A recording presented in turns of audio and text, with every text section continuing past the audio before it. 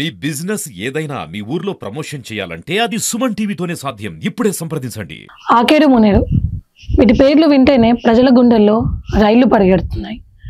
ఎంతో విధ్వంసాన్ని జల ప్రళయాన్ని సృష్టించిన ఈ వాగులు మొదలెక్కడ తుదలెక్కడ?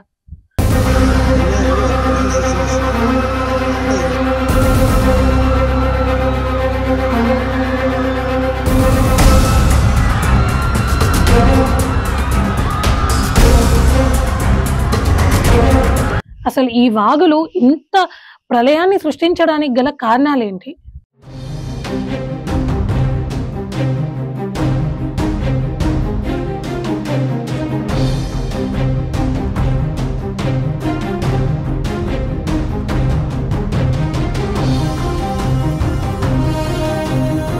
జనగాం జిల్లా చిల్పూర్ వద్ద ఒక చిన్న వాగులా మొదలయ్యి వరంగల్ జిల్లా నష్కల్లో ఆకేరు అనే పేరుతో రూపాంతరం చెంది.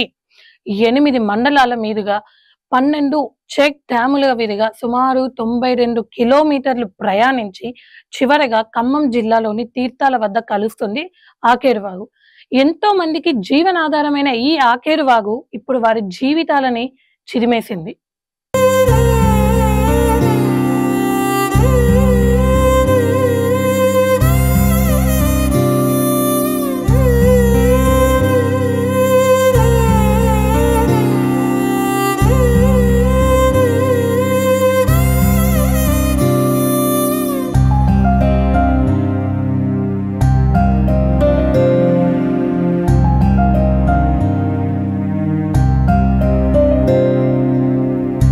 ఖమ్మం పట్టణానికి మంచి నీటిని అందించే వాగు మున్నేరు వాగు.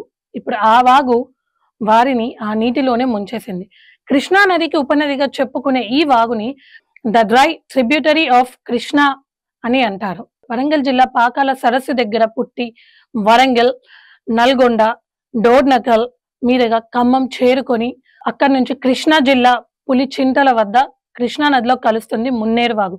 సుమారు నూట తొంభై ఐదు కిలోమీటర్లు ప్రయాణిస్తుంది ఈ వాగు. ఇప్పుడు ఈ వాగు సృష్టించిన బీభత్సం అంతా ఇంత కాదు. ఖమ్మం పట్టణాన్ని మొత్తం అతలాకుతలం చేసింది. ఈ రెండు వాగులు చేసిన బీభత్సం అంతా ఇంత కాదు. ఒక సముద్రాన్ని ఒక సునామీ చేసే అంత బీభత్సాన్ని సృష్టించాయి. ఈనాటికి కూడా తలుచుకుంటే భయాందోళనలకి గురవుతున్నారు ప్రజలు. కృష్ణానదికి ప్రత్యక్షంగాను పరోక్షంగాను ఉపనదులైన ఈ వాగులు సృష్టించిన వరద తాకిడికి నిరాశ్రులైన వారి జీవితాలు ఎన్నో. ప్రాణాలు కోల్పోయిన వారి జీవితాలు మరికొన్ని. ఎటు చూసినా కూడా కుటుంబాన్ని కోల్పోయి తోడబుట్టిన వాళ్ళని కోల్పోయి ఏకాకిగా మిగిలిన కొన్ని జీవితాలైతే మరికొందరు ఉన్నదంతా పోగొట్టుకొని రోడ్డు మీద నిలబడే పరిస్థితి వచ్చింది. అసలు ఎందుకు? కేవలం ఉపనదులు మాత్రమే ఇంత బీభత్సాన్ని సృష్టిస్తాయా? ఇది ప్రకృతి వైపరీత్యమా? లేక మానవ తప్పిదమా?